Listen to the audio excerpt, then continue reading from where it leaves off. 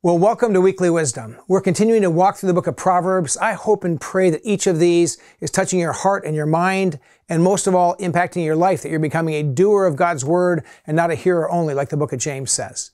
Uh, today, our theme is simply this relax because God knows what's going on. Just whew, relax when you look at our crazy world, all that's happening, God knows what's going on. Even if you're not sure if God does, I'm telling you, He does. Listen to these words from Proverbs chapter 16, verses 4 and 5. This is God's word. The Lord works out everything to its proper end, even the wicked for the day of disaster. The Lord detests all the proud of heart.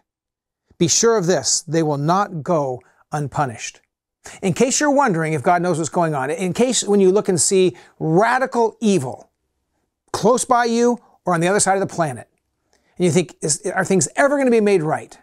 What is going on? Is, is, has God just forgotten what's happening in this world? Listen to these words one more time Proverbs 16, verses 4 and 5. The Lord works out everything to its proper end. And whatever's going on, God's hand is in that, even the wicked for the day of disaster. The Lord detests all the proud of heart. Be sure of this, they will not go unpunished. When it's all said and done, God is on the throne. When it's all said and done, God is in charge. And at the end of the day, evil will be dealt with, either by the grace of God through faith in Jesus, or the judgment of God, a holy God, on the reality of sin. But our anxiety about the wickedness in the world will not change it. Now, we should be difference makers. We should pray. We should help. We should try to be change agents in this world and certainly take care of our own hearts and minds. But at the end of the day, God will deal with things, and so we can take a deep breath and not feel like we have to control the whole universe. When it looks like evil is winning and wickedness is spreading like wildfire, understand God is still on the throne. Whether that's in your personal life, on a national level, on a global scale. Uh, we, we, watch so many news feeds. We hear so many things that are going on in the world, and, and we hear it through a filtered perspective, but we can see there's lots of bad things going on. At the end of the day, God will deal with it. And this is important to see in this passage that God even knows the condition of the heart, that, that pride is a concern for God, and humility honors God.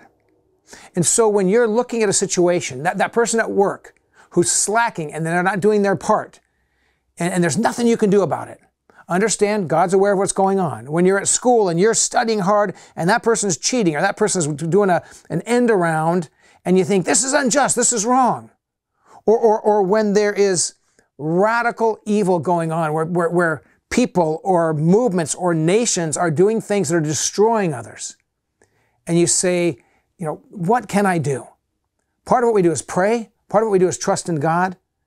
Part of what we do is try to make a difference wherever we can, but at the end of the day, we place our trust in God. And so here's the challenge focus on your heart and your life. I may not be able to control global evil. I may not be able to tr- control national evil. I may not be able to control local evil. But there's a, there's a, a awareness in this passage that, that God hates a prideful heart. I can look at my heart. I can look at my actions. I can look at my behavior and submit those to God. And the more people that do that, that begins to change our world. So start at home, start where you live, start in your own heart, make a difference where you can, and understand that God is on the throne.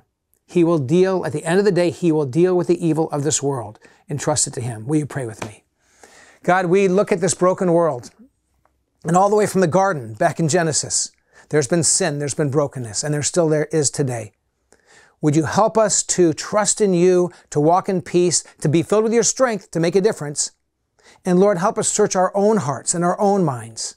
May we walk in humility and honor you. May we not be agents of evil. That's one thing we can fight against in your power. Help us to do that, we pray, for Jesus' sake. Amen.